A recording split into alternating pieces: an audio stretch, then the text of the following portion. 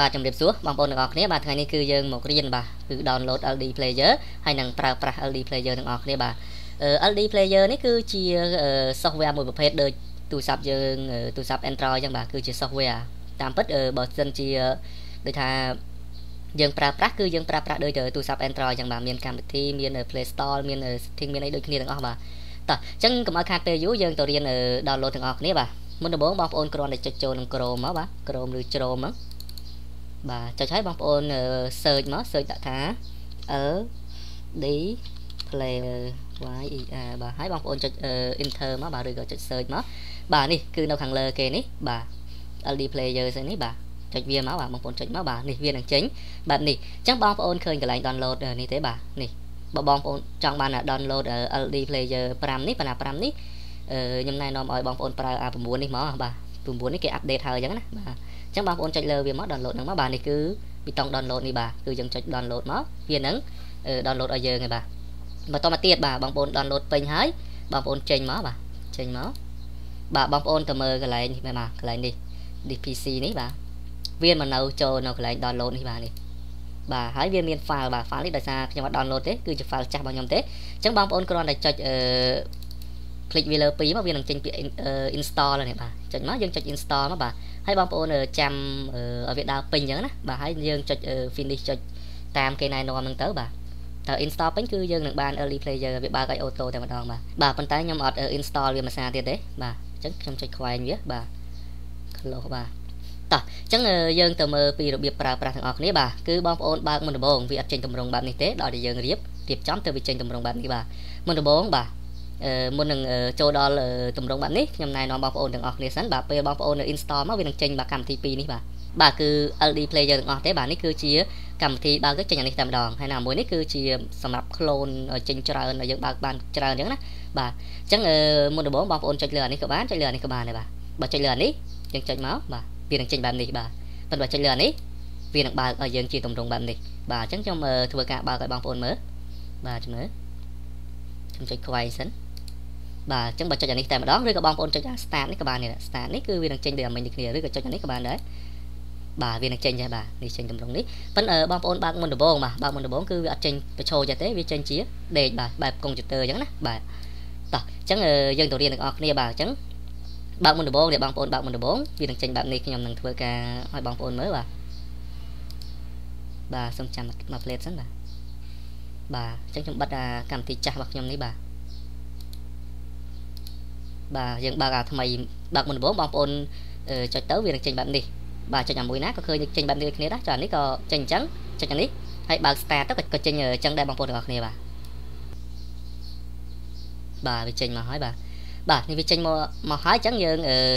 ចាប់ដើមរៀបចំវាបាទកុំតន់គិតលើកម្មវិធីអីផ្សេងផ្សេងយើងរៀបចំលើ setting វាសិនបាទហើយ setting នេះគឺបងប្អូនចូលកន្លែងនេះក៏បាននេះចូលកន្លែងនេះក៏បានឬក៏បាទចូលក្នុងអាសនេះក៏បានដែរបាទចូលក្នុងនេះក៏បានដែរនេះ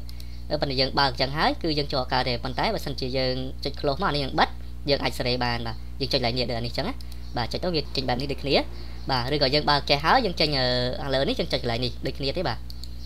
បាទចេញហ្នឹងមកបងប្អូនគ្រាន់តែចុចលើ mobile នេះបាទ mobile mode នេះហើយបងប្អូនជ្រើសរើសបាទបាទនេះគឺជ្រើសរើសយកមួយណាក៏បានដែរបើខ្ញុំដាក់តែប៉ុណ្្នេះទេព្រោះអីកុំកុំព្យូទ័រខ្ញុំមានខ្សោយដែរបាទអានេះគឺយើងទុកតាម recommend របស់គេហ្នឹងទៅបាទនេះក៏ដូចគ្នាដែរបាទ ហើយមួយទៀតបងប្អូនកលេចមកមើលខាងនេះបាទគឺកំណត់ model ទូរស័ព្ទបាទទូរស័ព្ទបងប្អូនចង់កំណត់ដាក់គេបាទនេះគឺ mode ច្រើនបាទគឺនេះ Samsung អញ្ចឹងបាទហើយនេះគឺ model វា model វាហើយនេះគឺបងប្អូនអាចកំណត់បាននេះបាទនេះគឺ Samsung Galaxy អីបងប្អូនដាក់អីក៏បានដែរបាទនេះគឺបងប្អូនចង់ដាក់អីក៏បានដែរបាទនេះគឺយើងដូរអាលើនេះគឺនេះដូរកន្លែងនេះបាទម៉ាក់អីគេបងប្អូនចង់ដាក់ម៉ាក់អីគេក៏បានដែរបងប្អូនមើលតាមហ្នឹងទៅមើលមានច្រើនណាបាទ គឺ Vivo Oppo បាទច្រើនមែនទែនបាទបាទនេះបាទមានស្អីស្អីខ្លះទេច្រើនណាបងប្អូនមើលតាមហ្នឹងទៅបាទ Oppo នេះមកហើយបងប្អូនរើស model មក model គេ Samsung នេះ model Samsung បើបងប្អូនដាក់ខាងនេះវានឹងដូរខាងនេះណាបាទប៉ុន្តែដាក់នេះគឺវាដូរគ្នាបាទអញ្ចឹងបងប្អូនចង់ដាក់អីក៏ដាក់ទៅធ្វើម៉េចមួយកំណត់ដាក់ model ផ្សេងៗគ្នាអញ្ចឹងណាបាទហើយកន្លែងនេះបងប្អូនចង់វាយអា iMe នេះក៏បានឬក៏បងប្អូនចុចអានេះ ចុចអានេះក៏បានដែរបាទចុចនេះទៅវានឹងដូរលេខបាទខុសៗគ្នាទាំងអស់ហើយបាទហើយបងប្អូនបន្តមកទៀតបងប្អូនគ្រាន់តែចុច save មកបាទហើយដាក់ restart now មកបាទចុចខាងនេះមកបាទវានឹងធ្វើការ restart ណាបាទ restart ចេញជាតម្រងឈរបែបនេះវិញតែម្ដងបាទមិញគឺតម្រងដេកលើតម្រងឈរវិញបាទអត់ពិបាកទេបងប្អូនហើយស្រួលដែរបាទការប្រើប្រាស់កម្មវិធីនេះបាទបន្តមកទៀតបងប្អូនចង់ download បាទ download កម្មវិធីផ្សេងផ្សេងបងប្អូនគ្រាន់តែចុចលើនេះមកហើយចុចក្នុងនេះបាទគឺ Play Store អញ្ចឹងណាបាទ Play Store ហើយបងប្អូននៅ sign in មកបាទនិយាយរួមដូចតែ Android ដូចគ្នាបាទដើម្បី download កម្មវិធីបានអញ្ចឹងណាហើយនេះគឺបងប្អូនបំពេញ email មកបំពេញ email ហើយគឺបងប្អូនអាច download បានហើយអញ្ចឹងខ្ញុំបំពេញ email ខ្ញុំបានហើយខ្ញុំធ្វើការបិទទេបាទបាទកន្លែងនេះគឺបងប្អូនត្រូវចេះមិនបាក់ទេកន្លែងគឺយើងប្រើទូរស័ព្ទ Android យើងចេះទាំងអស់គ្នាបាទអញ្ចឹងចុច access មកបាទគឺវានឹងបើកហើយបាទនេះបន្តមកទៀតគឺយើងអាច search រកអីក៏បានដែរ search មកឧទាហរណ៍ Facebook បាទវាយ Facebook មកបាទនេះវាចេញឲ្យហើយ Facebook បាទដល់កន្លែងនេះគឺបងប្អូនប្រើប្រាស់ដូចជា Android យើងអញ្ចឹងបាទគឺពួកប្រព័ន្ធ Android អញ្ចឹងដូចតែទូរស័ព្ទយើងដូចគ្នាបាទចុច install មកបងប្អូនវាដើរលឿនជាងទូរស័ព្ទតិចអានេះព្រោះអីវាកុងទ័រអញ្ចឹងដើរលឿនបាទហើយប៉ុណ្ណឹងអត់មានអីពិបាកទេបាទគឺរបៀបប្រើប្រាស់វាមានតែប៉ុណ្្នឹងឯងគឺអត់ពិបាកទេ បាទហើយយើងចង់បើកមួយទៀតចឹងណាបាទនេះចង់បើកមួយទៀតបាទយើងបើកទុក commission មកបាទហើយយ៉ាបាទអញ្ចឹងតោះយើងទៅរៀន clone LD player ទាំងអស់គ្នាមានរៀនធ្វើ clone ហ្នឹងបាទអញ្ចឹងបងប្អូនចង់ clone លើអាពីរនេះបងប្អូនចង់ clone មួយណាបាទចង់ clone យកអានេះឬក៏នេះយកមក clone បាទ clone ហ្នឹងវាមាន2បាទ clone ទី1 new new ហ្នឹងមានន័យថា clone LE player ថ្មីតែម្ដងបាទអត់មានអីដូចអាមុនដំបូងអញ្ចឹងបាទនេះគឺអានេះអញ្ចឹងហើយចេញជាតម្រងដេកដូចគ្នាដល់យើងកំណត់ដូចគ្នាបាទប៉ុន្តែបើយើង clone យកអាចាស់នេះបាទ clone បានបាទគឺយើង clone ពីអានេះទៅបានដូចគ្នាបាទតោះអញ្ចឹងយើងទៅរៀនទាំងអស់គ្នាបើសិនជាបងប្អូនចង់ clone new តែម្ដងបងប្អូនចុចអានេះមកហើយដាក់នេះបាទនេះគឺ color នេះបាទដាក់លើនេះមកចុចមកបាទយើងចង់ clone មែនបាទនេះគឺយើង clone 2យើងដាក់2មកបាទ1ដាក់1មកបាទបើយើង2យើងដាក់2មកហើយយើងចុចបាទ បាទហើយយើងចុច confirm មកបាទនេះចុចកន្លែងនេះមកវានឹង clone ឲ្យនេះបាទគឺនេះ clone ឲ្យហើយលឿនបាទគឺលឿនបាទហើយវានឹងចេញលើលេខឲ្យអ្នក LD player បាទបាទនេះបងប្អូន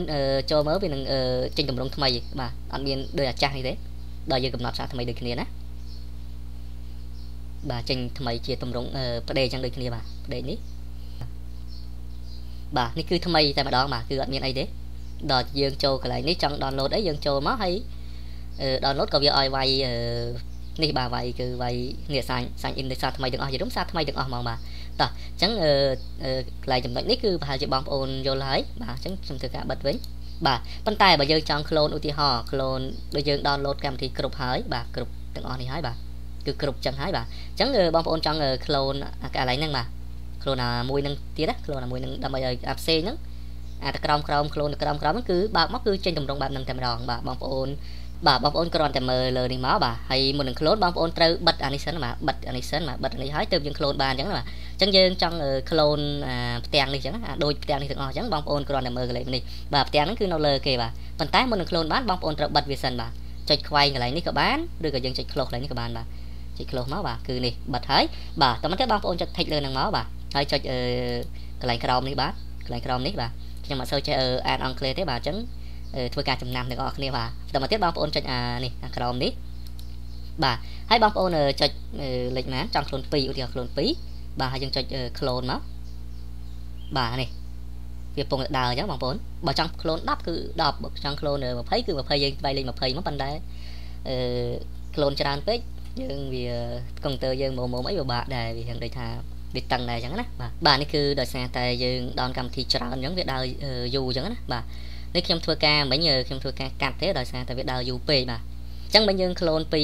2แล้วវាដើរអានពេញមួយវាចាប់ដើម load មួយទៀតអញ្ចឹងណាបាទបន្តមកទៀតបាទនេះឲ្យវាដើរតាមធម្មតាវាទៅយើងមកបើកអាយើង clone មិញបាទ LD player 2នេះបាទយើង clone 2មិញ2ណាអានេះមួយអានេះមួយបាទអានេះគឺអាខ្ញុំធ្វើបង្ហាញបងប្អូនអាមុនទេបាទយើងបើកអានេះមកបាទចាំមើលវាដូចអាលើដែរអត់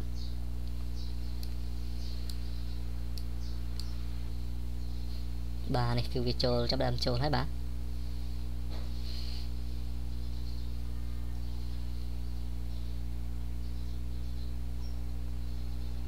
បាទនេះគឺវាមានអេបដូចអាមុនអញ្ចឹងបាទគឺមានអេបដូចអាមុនអញ្ចឹងឃើញទេមាន Facebook មាន Messenger ដែលអ្វីដែលយើង down ហើយអញ្ចឹងណាគឺវាបានមកទាំងអស់បាទហើយមួយទៀតបងប្អូនទាំងអស់គ្នាបាទខ្ញុំភ្លេចប្រាប់គឺកន្លែងនេះគឺកន្លែងដូរឈ្មោះបងប្អូនបាទបងប្អូនបើអត់ចង់ដាក់ LD player នឹងទេបងប្អូនអាចដូរឈ្មោះបានឧទាហរណ៍បងប្អូនចង់ដូរឈ្មោះគេបងប្អូនចង់ដូរ Facebook ឬក៏ខ្ញុំដាក់ចុច F ចុច B អញ្ចឹងណាបាទអញ្ចឹងក៏បានដូចគ្នាដែរបាទបាទនេះយើងដាក់បានដូចគ្នាដឹងដាក់លេខសម្គាល់ឬក៏ឈ្មោះសម្គាល់ដែរបានទាំងអស់បាទ បាទហានេះមិញហ្នឹងយើងចូល setting មកគឺ clone មួយយើងចូលមួយបាទសំខាន់គឺ model នេះបាទគឺបងប្អូនអាចរើសបាននេះរើសស្អីគេក៏បានដែរបាទនេះគឺរើសហ្នឹងមកហើយចុច random នេះមកបាទហើយយើងចុច save បាទអញ្ចឹងមកបាទអាក្រោមដូចគ្នាយើង clone មួយយើងចូល setting ដើម្បីដូរ model វាអញ្ចឹងណាកុំឲ្យនេះកុំឲ្យ Facebook វាចាប់ទៅឃើញ model ដែលឬក៏ login ទូរស័ព្ទតែមួយអញ្ចឹងកុំឲ្យវា spam អញ្ចឹងណាបាទបាទ ចឹង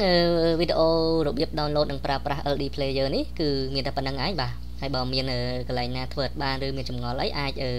comment ខាងក្រោមវីដេអូបានហើយជាចុងក្រោយកុំភ្លេចជួយចុច subscribe បាទ channel ខ្ញុំអ្នកមួយហើយនឹងចុច follow page អ្នកមួយផងបាទសូមអរគុណបាទដើម្បីលើកទឹកចិត្តខ្ញុំអញ្ចឹងណាបាទហើយវីដេអូក្រោយខ្ញុំនឹងធ្វើការបង្ហាញរបៀប clone បាទ clone ឲ្យ Facebook នេះបាទហើយអាចប្រើប្រាស់បានបាទរបៀបកំណត់ setting កំណត់អីចឹងណាបាទគឺនេះ Facebook ខ្ញុំ clone បាទរកចាំបន្តិចបាទហើយ clone នេះវាមិនប្រើទៅស្រួលដូចកម្មវិធីដើមហ្មងទេបាទពេលខ្លះវាអាចបើកចេញពេលខ្លះវាអាចបើកទៅវា load ចេញវិញអញ្ចឹងណាបាទហ្នឹងវាមានបាទនេះគឺយើងបើកទៅវាយឺតជាងកម្មវិធីដើមដូចគ្នាតែយើងអាច log in ចូលបានប្រើប្រាស់បានអញ្ចឹងណាសម្រាប់ share សម្រាប់វាបានអញ្ចឹងណាបាទបាទហើយមានតែប៉ុណ្្នឹងទេបាទសូមអរគុណសូមជម្រាបលាទាំងអស់គ្នាសុខសប្បាយទាំងអស់គ្នាបាទបាទជម្រាបសួរបងប្អូនទាំងអស់គ្នាបាទបងប្អូនដើមកម្មវិធី LD player មកបាទបងប្អូនមានជួបបញ្ហាអីអត់បាទ ចឹងវីដេអូមុនគឺខ្ញុំប្រាប់ពីរបៀប download ចឹងណានិងរបៀបប្រើប្រាស់បាទប៉ុន្តែខ្ញុំអត់បានប្រាប់ពីបញ្ហាដែលយើងជួបចឹងណាបាទគឺបងប្អូន download មកបាទគឺវាបែបនេះបាទគឺវាអត់ឲ្យយើងបើកទេវាដាក់ enable now ចឹងណាវាឲ្យយើងធ្វើការនេះទៅបើក VT នេះបាទគឺបញ្ហាដែលយើងជួបនេះគឺនេះ VT នេះបាទឃើញទេបាទអញ្ចឹងយើងអាចប្រើប្រាស់ early player នឹងបានទេបាទលុះត្រាតែបងប្អូនចូលទៅដោះស្រាយបញ្ហាហ្នឹងសិនទើបយើងអាចប្រើប្រាស់បានបាទអញ្ចឹងបញ្ហាហ្នឹងមិនមែនតែយកមកពីណាទេបាទគឺនៅក្នុង កុំព្យូទ័ររបស់យើងអញ្ចឹងណាបាទមុនដំបូងបាទគឺបងប្អូនត្រូវដឹងថាកុំព្យូទ័ររបស់បងប្អូនហ្នឹងប្រើម៉ាកអីសិនបាទ Asus ឬក៏ Dell ឬក៏ Acer អញ្ចឹងណាបាទបាទអញ្ចឹងបងប្អូនត្រូវដឹងម៉ាកកុំព្យូទ័ររបស់បងប្អូនសិនអញ្ចឹងម៉ាកកុំព្យូទ័ររបស់ខ្ញុំគឺបាទ Asus បាទអញ្ចឹងបើសិនជាបងប្អូនប្រើ Asus ដូចខ្ញុំបងប្អូនអាចដោះស្រាយបានដូចខ្ញុំអញ្ចឹងណាប៉ុន្តែបើសិនជាប្រើ copy Asus គឺបងប្អូនសិក្សាជាជាបន្ថែមទៀតបាទ ដើម្បីសិក្សាបានគឺមុនដំបូងបងប្អូនត្រូវចូលបាទចូលទៅក្នុង Chrome មកបាទហើយអញ្ចឹងបាទវាយពាក្យថាបាទបើឧទាហរណ៍ខ្ញុំ ASUS អញ្ចឹងខ្ញុំវាយថា ASUS បាទ ASUS បាទដក clear មកបងប្អូនបាទដក clear ហើយដាក់ថា BIOS ហើយដាក់ key keyboard បាទវាយពាក្យ keyboard មកបាទ keyboard សេមិនបាទ key B បាទ B O បាទ A អ D បាទហើយវាយពាក្យ Windows អីគេបងប្អូនបាទអញ្ចឹងបើបងប្អូនប្រើ Windows 10បងប្អូនដាក់ Windows 10មកឬក៏បងប្អូនប្រើ Windows អីបងប្អូនវាយចឹងគេមកណាបាទវាយថា Windows នេះមកបាទ Windows បាទសូមអធិស្ឋានដល់ចុចដៃមួយចឹងណាដៃមួយកាន់កាមេរ៉ាបាទគឺនេះ Windows នេះ Windows បាទ Windows អឺ Windows របស់ខ្ញុំប្រើ Windows 10ឬក៏ Windows 10ហ្នឹងគឺខ្ញុំវាយ Windows 10អញ្ចឹងណាហើយយើងចុច search មកឬក៏ចុច enter មកណាបាទចុចលើវាមកបាទបាទចាំមើលបាទបាទមកចូលដល់ផ្ទាំងនេះគឺបងប្អូននេះចុចកន្លែងនេះមកបាទនេះបាទគឺចូលដល់ចំណុចនេះគឺបងប្អូនកន្លែងមកមើលខាងលើនេះឃើញគេដាក់ boot menu នេះបាទគឺនេះសម្រាប់ boot ចឹងណាបាទអានេះ boot 1ស្អីគេណាទេបាទគឺយើងអត់ចាប់អារម្មណ៍ទេបងប្អូនមកមើលកន្លែងនេះណាមានអក្សរ B បាទ BIOS នេះ BIOS បាយអីទេបាទបាទអញ្ចឹងអក្សរបច្ចេកទេសគេបាទគឺដឹងគេអានមកចេះបាទអញ្ចឹងគឺវាមានចុចអឺ DEL នេះឬក៏ F2 F2 F2 បាទអញ្ចឹងវាមានតាមម៉ាកវាអញ្ចឹងណាបងប្អូនបាទអញ្ចឹងដោយសារកុំព្យូទ័ររបស់ខ្ញុំនេះចុច F2 នេះបាទអញ្ចឹងបើសិនជាបងប្អូនបាទប្រើដែលបងប្អូនចេញមកបាទបងប្អូនវាយពាក្យកន្លែងមិញ ASUS ហ្នឹងបងប្អូនដាក់ថា Dell អញ្ចឹងណាបាទបាទកន្លែងចុច search មកនេះឃើញទេបាទហើយយើងវាយពាក្យ Dell មកបាទ Dell ហ្នឹងបាទ D បាទ E double L Dell បាទអញ្ចឹងយើងចុច enter មកបាទអញ្ចឹងនេះគឺវាមានច្រើនដូចគ្នាណាបងប្អូនបាទអញ្ចឹងវាមាន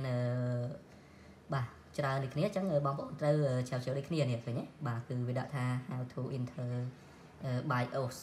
in Windows 10 Windows 11អីហ្នឹងបាទគឺចុចលើហ្នឹងមកបាទបាទនេះពាណិជ្ជកម្មគេទេបាទអញ្ចឹងបងប្អូនមើលទី1នេះគឺដាក់លេខរៀងម៉ោងទី1នេះបាទ enter តហ្នឹង window វាចុចអីខ្លះអញ្ចឹងណា step step របស់វាអញ្ចឹងណាវាមានការបង្រៀនបាទគឺអញ្ចឹងបងប្អូនមើលច្រើនជួយដល់ខ្លួនឯងទៅបាទខ្ញុំមិនសូវជាដឹងទេព្រោះខ្ញុំអត់មានកុំព្យូទ័រ Mac Dell Mac អីចឹងណាបាទអញ្ចឹងបងប្អូនចុចតាមហ្នឹងទៅសំខាន់គឺបងប្អូនជ្រើសរើសខ្លួនឯងចឹងណាបាទអញ្ចឹងបើសិនជាបងប្អូន Acer បងប្អូនវាយកន្លែងពាក្យមុខដាក់ Acer ចឹងណាបាទហើយ Windows មកបងប្អូនដាក់វាយប៉ុណ្ណឹងទៅគឺវានឹងលោតឲ្យហើយបាទតោះឥឡូវយើងទៅធ្វើការដោះស្រាយទាំងអស់គ្នាបាទមុនដំបូងបងប្អូនត្រូវចុច restart បាទ restart កុំព្យូទ័ររបស់បងប្អូនបាទចុច restart មកណា កុំព្យូទ័រណាក៏ដូចគ្នាដែរចុច restart ដូចដូចគ្នាបន្តមកទៀតខុសខុសតែបាទ shortcut ដែលយើងចុចហ្នឹងដូចជា keyboard ដែលយើងចុចហ្នឹងបាទបើ ASUS ចុច F2 អញ្ចឹងណាបើសិនជា Dell អាចចុច F ប្រហែលឬក៏អីទៀតអាហ្នឹងបាទគឺខ្ញុំអត់ហ៊ានប្រាប់ទេព្រោះវាខុសគ្នាទាំងអស់អញ្ចឹងណាវាតាម Mac កុំព្យូទ័រអញ្ចឹងណាបងប្អូនបាទអញ្ចឹងបងប្អូនចុច restart មកបាទបន្តមកទៀតគឺបងប្អូនចុច F2 បាទចុចមកពេលវាលុតបងប្អូនចុច F2 មកបាទសំតាន់ពេលវាលុតណា ឬក៏យើងចុចកុំចុចជាប់ណាចុចដកចុចដកចុចដកឲ្យញាប់ណាបាទយើងចុចដកមកនេះបែបនេះមកបាទបាទចុចជាប់រហូតមកបាទនេះនេះក៏វាប្រាប់ថាចុច F2 បាទគឺវាលោតចូលដល់ផ្ទាំងនេះបងប្អូនណានេះឃើញទេផ្ទាំងនេះមួយអញ្ចឹងបងប្អូនកលេចមកមើល Advanced Mode នេះបាទគឺ F7 បាទបងប្អូនចង់ចុច F7 ក៏បានប៉ុន្តែយើងអាចប្រើ mouse បានណានេះប្រើ mouse បានណាប៉ុន្តែយើងចុចតាម keyboard ក៏បានដែរ shortcut គេណានេះឃើញទេ បើយើងអត់ប្រើ mouse យើងចុច F7 ក៏បានដែរបាទបាទយ៉ាងណាក៏ដោយបាទគឺបងប្អូនត្រូវរក Advanced Mode ឲ្យឃើញណាបាទហើយចុចលើវាមកណាបាទហើយចុច OK មកបាទបាទគឺវាលោតចូលផ្ទាំងមួយនេះណាបន្តមកទៀតគឺបងប្អូនកលេចមកមើលអាជួរលើនេះណានេះបាទកលេចមើលអាជួរលើនេះបងប្អូនចុចពាក្យបាទពាក្យ advance នេះបាទនេះឃើញទេកន្លែងម៉ៅហ្នឹងបាទឃើញទេបងប្អូនបាទចុចកន្លែងម៉ៅហ្នឹងមកបាទបន្តមកទៀតគឺបងប្អូនចុចលើ CPU នេះបាទ CPU អសស្អីគេទេពីមុខបាទគឺបងប្អូនមើលទៅបាទបងប្អូនចាំថាពីមុខមាន CPU នេះមកហើយលើគេហ្នឹងមកបាទបងប្អូនត្រូវមើលអសខាងក្រោយផងណាបាទឲ្យដូចគ្នាណាកុំឲ្យកន្លោបងប្អូនកុំព្យូទ័ររបស់បងប្អូនខុសពីនឹងអញ្ចឹងទៅខ្ញុំអត់ដឹងទេបាទអញ្ចឹងចុចឡើងមកបាទហើយបងប្អូនធ្វើការ scroll បាទ scroll មកបាទ scroll មកលើមកបាទគឺបងប្អូននេះមកកលេចមកមើលបាទនេះកន្លែងនេះបាទកន្លែង Intel សេចនេះបាទឃើញទេបាទនេះគឺយើងជាប់មិញហ្នឹងគឺជាប់អាហ្នឹងណានេះឃើញទេ ឃើញណាបងប្អូនដោយសារដាក់កាមេរ៉ាអញ្ចឹងកន្លោបងប្អូនមើលអត់ឃើញអញ្ចឹងណាបាទនេះជាប់កន្លែងហ្នឹងបាទបងប្អូនបាទអូសវាត្រង់មកនេះមកបាទឃើញវាដាក់ disable អត់បងប្អូនចុចលើហ្នឹងមកបាទជ្រើសរើសពាក្យបាទអឺ enable បាទ enable នេះមកបាទឃើញទេមិនបងវា disable នេះណាអញ្ចឹងបងប្អូនចុចពាក្យ enable នេះមកបាទឃើញទេចុចឡើងហ្នឹងមកបាទមើលជួចំអក្សរនេះណាមើលចំបាទបងប្អូនចំណាំខ្លួនឯងទៅបាទអត់ចេះអង់គ្លេសក៏អាចធ្វើបានដែរសំខាន់ចំណាំទេបាទអញ្ចឹងមកហើយបន្តមកទៀតគឺបងប្អូនចុចកន្លែងនេះមកនេះ កន្លែងថយទៅក្រោយវិញអញ្ចឹងណាបងប្អូនចុចលើហ្នឹងមកហើយចុចពាក្យ save change មក and restart មកចុចកន្លែងហ្នឹងមកបាទចុចកន្លែងហ្នឹងមកបាទកន្លែងទី2ណានេះបងប្អូនបាទកាឡូកាមេរ៉ាខ្ញុំមើលទៅព្រិលអីសូមអធិស្ឋានផងបាទនេះចុចលេខហ្នឹងមកបាទហើយចុចពី OK មកបាទនេះឃើញទេបាទ OK មកវានឹងធ្វើការ restart ឲ្យយើងភាសាទៀតណាបាទបាទ restart ហើយបាទជំរឿវា restart ហើយចូលវិញជំរឿយើងបើកបានអត់បាទ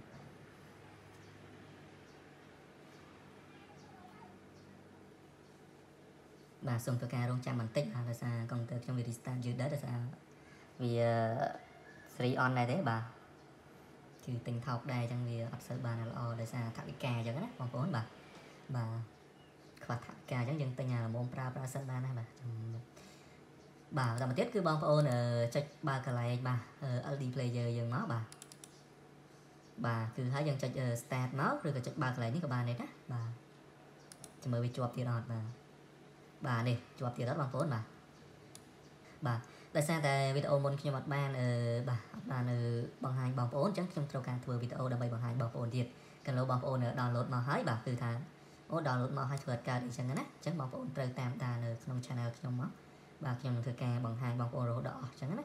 ដោយសារបញ្ហាណាដែលខ្ញុំជួបគឺខ្ញុំត្រូវតែបង្ហាញបងប្អូនទាំងអស់អញ្ចឹងអត់មានធ្វើការលាក់បាំងអី ឬក៏ឲ្យឆាតចូល Telegram ឬក៏តម្រូវឲ្យបងប្អូនចុច follow ឬក៏